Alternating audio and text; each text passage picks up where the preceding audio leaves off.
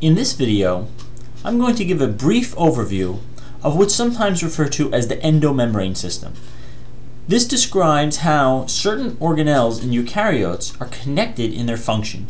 In particular, I'm going to be discussing the nucleus, the rough ER or the associated ribosomes on the rough ER, the smooth ER, smooth endoplasmic reticulum, and the Golgi and other vesicles that might be present.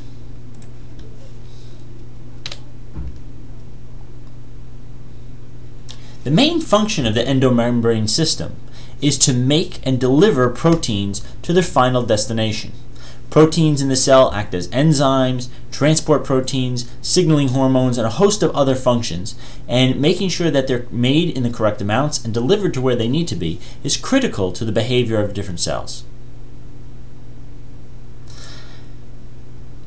These activities and this endomembrane system, of course, exist only in eukaryotes because these are the types of cells with internal membrane-bound compartments or organelles.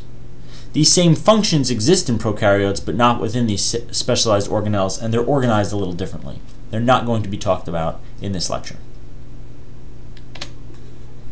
Here's a quick view of some of the organelles involved in the membrane system and how they're arranged. You can see the nucleus at the top, pretty much surrounded by the rough ER, a very highly folded membrane structure Again, a folded membrane structure usually means that uh, it's being folded in order to increase the surface area, a clue that the most important activities for that organelle are occurring at the membrane surface. The rough and the smooth ER have connections. Rough ER is uh, the portion of the endoplasmic reticulum that is studded or associated with ribosomes. You could see that a subsequent step in this pathway is to have materials from the ER transported to the Golgi. The Golgi then will sort these materials and send them to different places in the cell or even outside of the cell.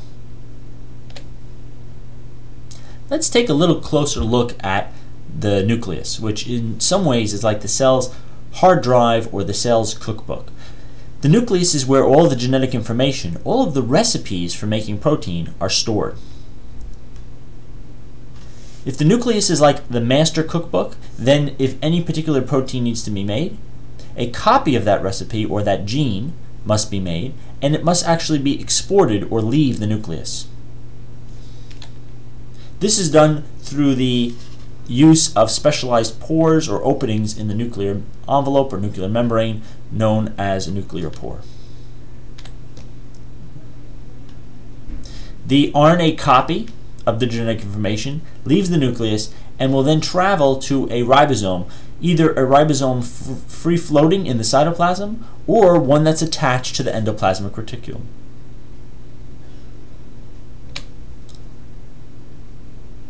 Here is a somewhat busy slide with some information blocked out depicting the creation of the RNA copy and its export from the nucleus and association with the ribosome.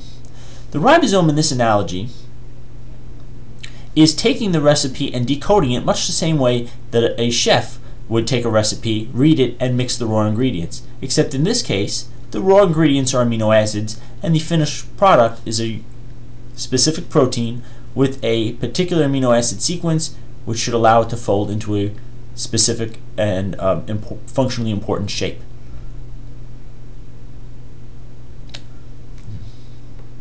This ribosome is a large collection of proteins and RNA, usually found in two subunits, with a lot of different complex features and very important and varied function.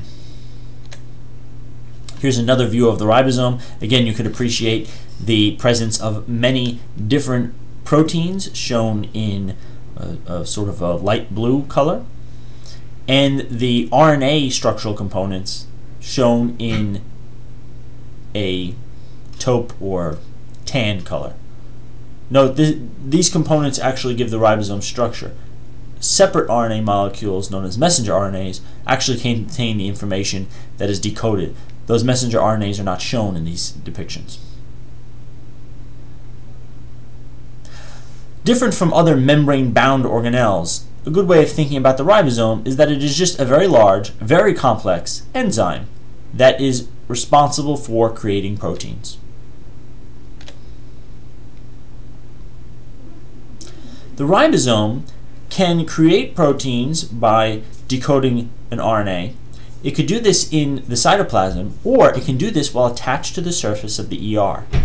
If associated with the ER, the ribosome will typically read an RNA that's present in the cytoplasm, but generate the protein and, in essence, give birth to the protein so that the protein is contained within the inside or the lumen of the ER. That protein has not been exposed to the cytoplasm. Again, the protein is sort of the finished product or the meal that's been generated via this recipe. The protein can continue to travel through the maze-like endoplasmic reticulum. In the smooth ER, protein synthesis is not occurring, typically, but protein modification may occur. Here is one typical modification that can occur on proteins shown. This is where small molecules can either be added or taken off of a protein after the amino acids have already been linked together by the ribosome. Again, this is a little bit like bringing a meal to a certain station in which condiments are present things that add a little flavor or a little extra functionality to a meal or to a protein in this case. Here's another example, or another few examples of different modifications that can occur. Some of these modifications will attach fatty acids or lipid type molecules to a protein, allowing them to associate with the membrane. Viewing the system as a whole, you can see how the nucleus stores the information, which is then copied into RNA, translated into protein. The protein then is modified and can be packaged at the Golgi, traveling through vesicles in between some of these different or organelles. Proteins, or a collection of different proteins, packaged in vesicles, either at the Golgi or leaving the Golgi, can travel to different parts of the cell where they may be, may be needed. They could also fuse with the plasma membrane in a process known as exocytosis, and be released from the cell. One good example of this is how certain neurotransmitters are made and delivered. A neuron will produce a neurotransmitter, include it, or an enzyme, let's say, that affects neurotransmitters and their presence in, um, in the synapse between neurons. Uh, these will be produced in the ER They'll travel through this endomembrane system and they'll eventually be released from the cell through exocytosis.